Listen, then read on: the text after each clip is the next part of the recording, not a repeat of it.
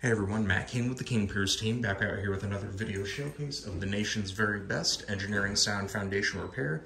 If you'd like to see more, we highly encourage you to visit us over on our YouTube and Facebook pages. If you have not visited before, just search for King Piers LLC, and while you're there, we'd really appreciate it if you left a like and a subscribe.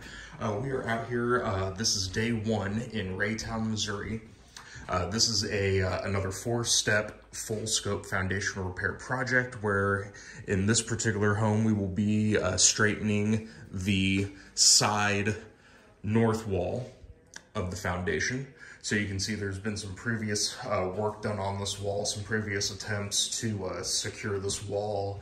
Um, it's not working, so that's why uh, why we were called out here to uh, to save this foundation wall.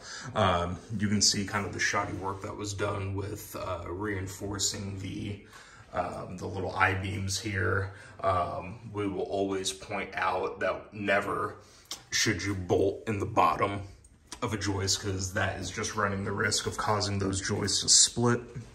So we always avoid doing that. Everything we do is engineering sound bolted from the side. Um, so on this particular project, we will be straightening this wall. Um, three King Pier 2s will be installed under the footing. We will likely do those from the outside. Um, and then uh, inside, we will install four H-beam wall braces. Those will be installed properly um, using our King Piers methodology to make sure it is done correctly. Um, we will also go throughout the basement and uh, take care of all the uh, the other cracks around the uh, the area here, get those sealed up properly with uh, epoxy and uh, and then a final coat of polyurethane.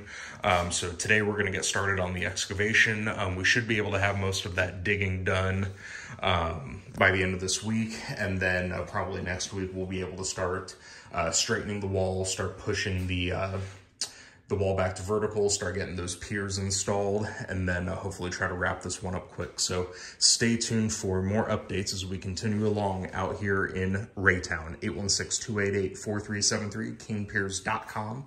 And again, don't forget to check us out on YouTube and Facebook. If you haven't visited before, it's just a simple search, King Piers LLC.